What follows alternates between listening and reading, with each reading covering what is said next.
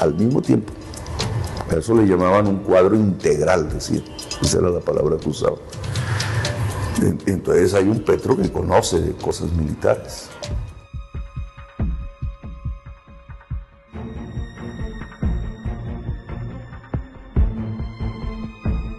En 1988, Gustavo Petro, el comandante Andrés, anduvo en las montañas del Tolima, donde tuvo unos campamentos con los cuales entrenaba jóvenes, los adoctrinaba.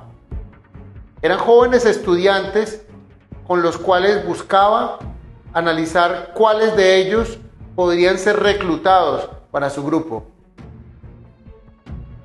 Posteriormente, estos jóvenes recibieron formación militar y terminaron siendo capacitados y preparados para futuras acciones de terrorismo en los campamentos de Gustavo Petro. Pero estas actividades que culminaban con los jóvenes se iniciaban con niños de escuela a quienes le regalaban cartillas, lecturas y afiches que promovían el odio a los policías y a los soldados haciéndolos ver como violadores de los derechos humanos y enemigos de los campesinos. Esta estrategia de adoctrinamiento y propaganda la utilizaron por 40 años las que se denominaron OPM, Organizaciones Político-Militares. Estas nacidas del Congreso de los Robles y de la novena conferencia del M19 por allá en la década de los ochentas. Hoy en día nos quedaron las primeras líneas, que son el reencauche de su lucha urbana con el mismo propósito de las OPMs. Preparar el terreno para la insurrección popular. No les gustan los revolucionarios, díganlo, pero díganlo lo que somos, revolucionarios. Ampones. Bueno, Vicky, entonces usted no tiene, no tiene por qué entrevistar a un ampone.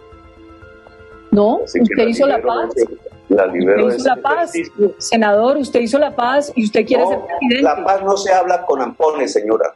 En 2019, con posterioridad a dos fracasadas elecciones presidenciales y contando con la financiación de organizaciones terroristas y narcotraficantes, contando con el apoyo de Venezuela y la financiación del ELN, volvieron a las calles pero mucho más preparados.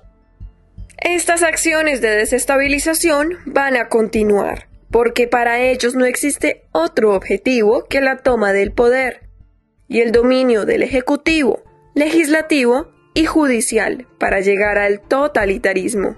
Y al día de hoy, Gustavo Petro sigue apoyando terroristas porque él también lo fue y considera que estos que son los más jóvenes hacen parte de su estrategia de las OPM, organizaciones político-militares.